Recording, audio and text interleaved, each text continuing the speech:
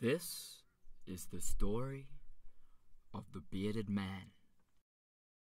This man, he has a beard, a big bushy beard, and he wears it long. It's quite long. And in his beard he keeps a squirrel. He feeds it cheese, they both have a nibble. And when he sweats, the beard becomes a rag. It's a multi purpose neck and chin dag. I'd like to tell you what a dag is, in case you don't really know. Not everyone knows what a dag is, so here The dag is the furry bits in between the sheep's legs. It's often full of pellets of goo and big clumps of poo. Oh no, have I gone too far? Saying a swear word in the presence of God. Is this audience offended? I'm assuming no. I didn't really think so. Everyone says poo. Well, the Queen might not say so, but I'm sure she really wants to. Let's get back to the story. Back to the story. Back to the story. Let's get back to the story. Back to the story. Back to the story. Let's get back to the story. Back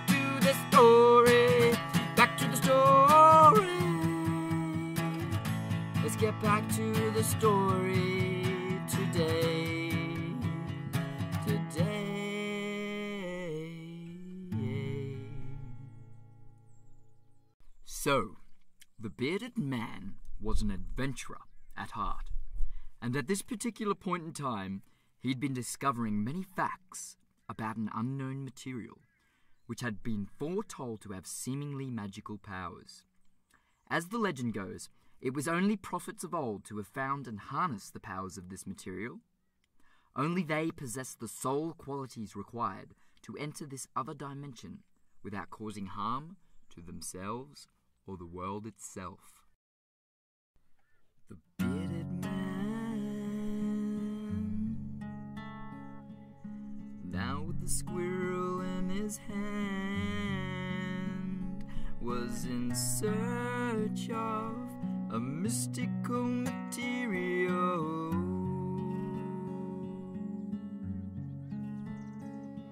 It's kinda like kryptonite planet Krypton. You know, the place where Superman came from. The planet Krypton, the place where Superman was born. Mystical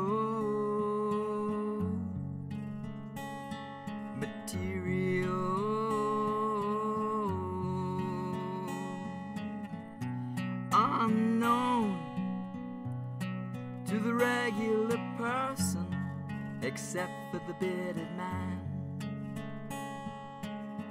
He has a squirrel in his beard, so he's not the regular man. Not the regular man. And so the man with the beard set out on his journey to find this mystical material, and to bring great benefit to all of man and womankind. The first obstacle he faced was the great desert, which surrounds this entire plain.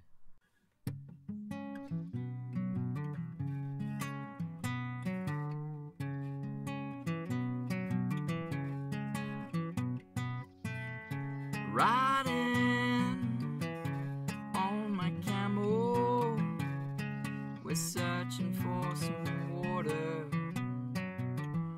Traveling across the sand, living a life like on Kokoda.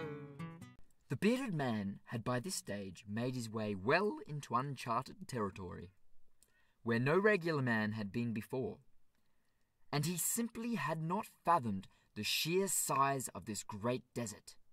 Now, finding himself in a great predicament no food and no water. All hope is lost in the middle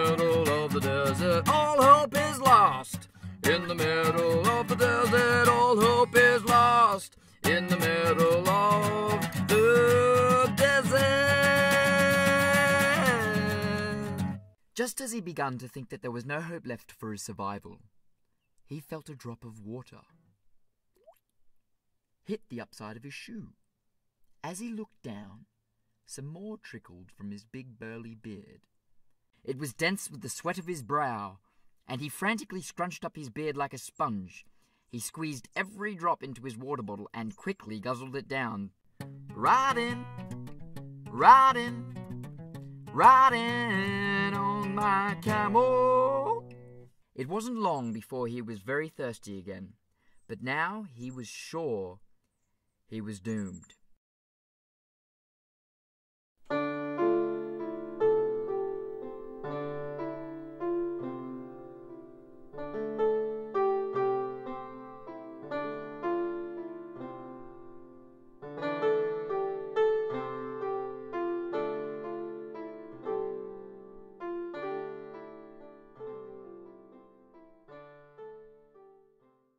Bearded man did not want to die just yet.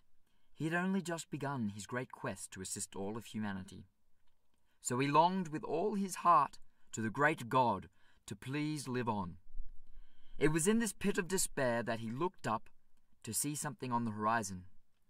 It was flying towards him at a tremendous speed. And it was flapping giant wings like this. Oh my goodness, it's a flying water dragon, come to save me from my dehydration. Oh my goodness, it's a flying water dragon, come to save me from my dehydration. Dehydration. Dehydration.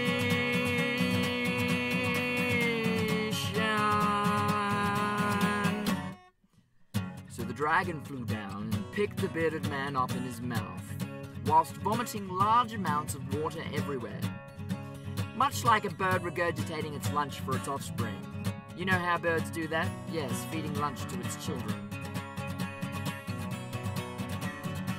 And so they flew off into the sunset, much like Falkor and the boy from the Neverending Story. You know that movie? Mm, yes, it's a good movie, isn't it? I liked it. And then it became nighttime. And so they slept until the night became the day. It's only sleep, so there's nothing to say.